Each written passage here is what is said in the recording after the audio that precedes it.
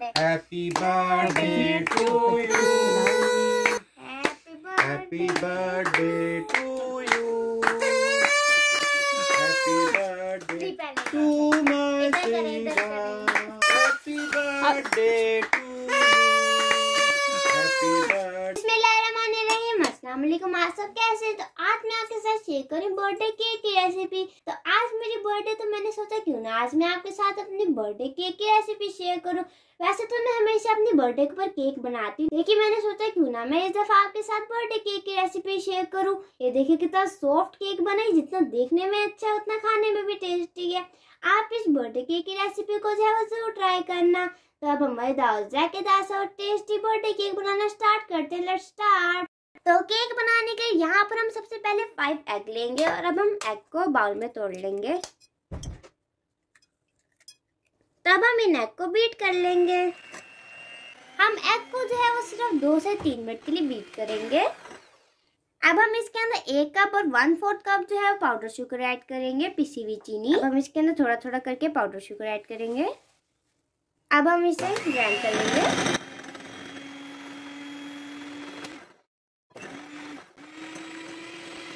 हमने इसे तब तक बीट करना जब तक ये फ्लफी नहीं हो जाता। तब आप देख सकते हैं ये फ्लफी सा हो गया है। अब हम इसके अंदर five tablespoon oil add करेंगे। One teaspoon vanilla essence add करेंगे। Two and half teaspoon baking powder add करेंगे।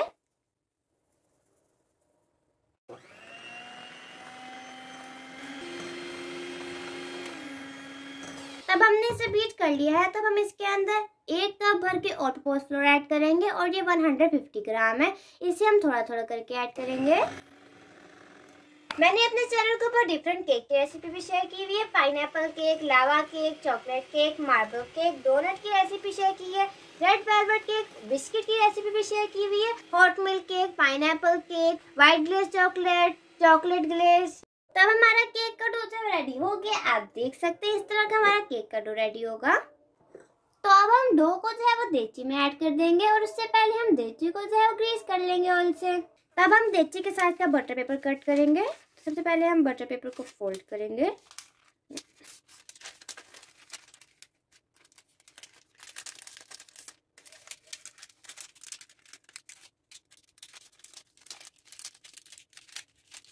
तब हमने इसे फोल्ड कर दिया। आप देख सकते हैं, तब हम इसे कट करेंगे। तो हम ये देची लेंगे, जिसके अंदर हमने केक को फोल्ड केक को बेक करना है।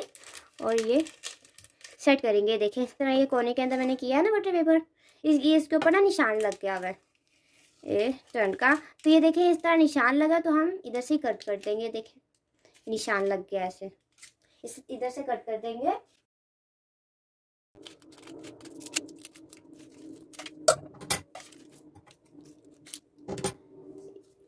ये देखें। ये बिल्कुल परफेक्ट शेप के अंदर कट गया बटर पेपर तो ये देखें, बिल्कुल ये इसके साइज़ का बना है।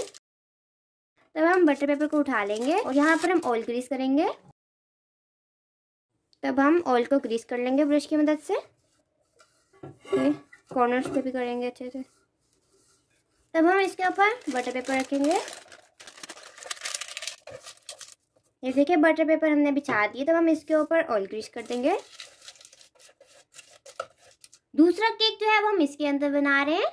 तो हम इसके साथ का भी बटर पेपर काट लेंगे। ये देखें, ये इस तरह का मैंने कौन सी बना ली। ये इधर तक के कटे। ये देखें, इस तरह हम साइज़ लेंगे। आप चाहें तो अंदर से भी साइज़ ले सकते हो और बाहर से भी ले सकते हैं। देची का साइज़ हमने अंदर से लेना आपको बताया। और ये इसका साइज़ आप बाहर से भी ले सकते हैं। ये बटर पेपर कट हो गया। ये देखें। इसके अंदर डालेंगे। सबसे पहले हम इसके अंदर ऑयल ग्रीस करेंगे। तो अब हम इसके अंदर अच्छे से ऑयल ग्रीस कर देंगे। ऊपर भी अच्छे से लगा देंगे। तब हम इसके अंदर बटर पेपर डालेंगे। ऐसे ब्रश की मदद से सेट कर देंगे। तब हमने इसके ऊपर भी बटर पेपर लगा दिया, आप देख सकते हैं। तब हम देची के अंदर केक का बैटर ऐड करेंगे। अब हम इसके अंदर भी केक का बैटर ऐड कर देंगे। तब हम इसे टैप कर देंगे ताकि इसके सारे बबल जो है वो निकल जाए।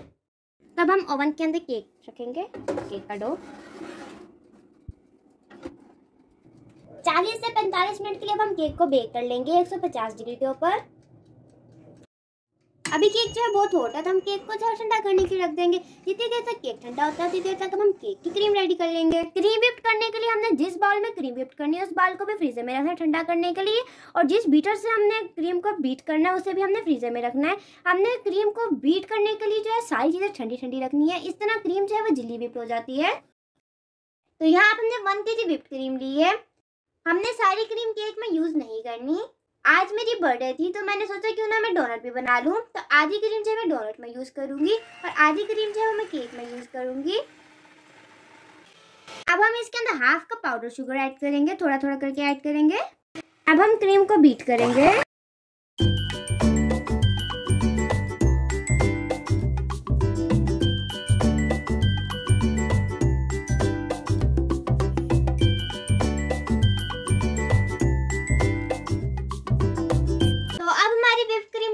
रेडी हो गई है और केक जो वो भी हमारा ठंडा हो गया है। तब हम केक की तैयारी की तरफ़ चलते हैं। अब हम इसके ऊपर से बटर पेपर रिमूव कर देंगे। ये देखें कितनी आसानी से निकल रहा है बटर पेपर तब हम केक की कटिंग कर लेंगे। तब हम धागे की मदद से केक को कट कर लेंगे। ये ये देखें, अंदर से देखिए कितना परफेक्ट करता है।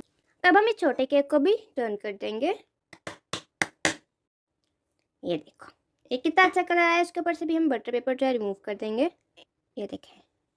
कितनी आसानी से बटर पेपर रिमूव हो गया और ये केक भी रेडी है। तब आप देख सकते हैं, हमने इस केक की भी कटिंग कर ली है।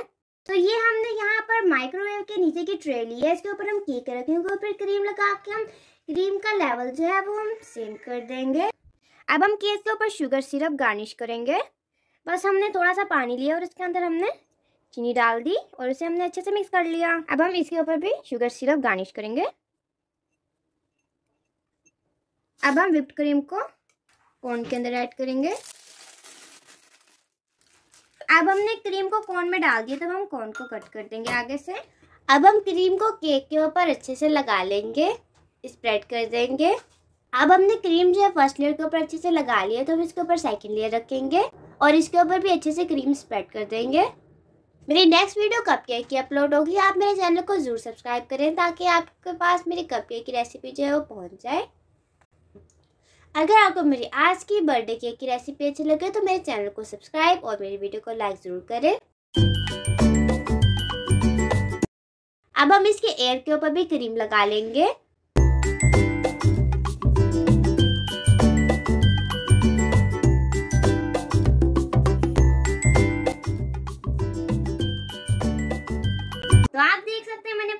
जो है कोट कर लिया क्रीम से और मैं बहुत ही खुश हूँ क्योंकि बहुत ही मुश्किल था।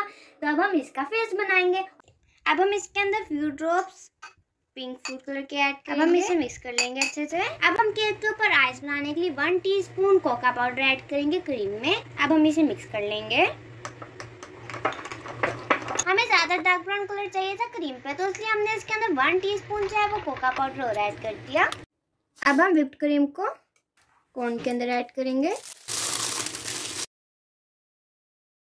तो अब हम इसका फेस बनाएँगे और मैं बहुत ही प्यारा सा फेस बनाऊँगी।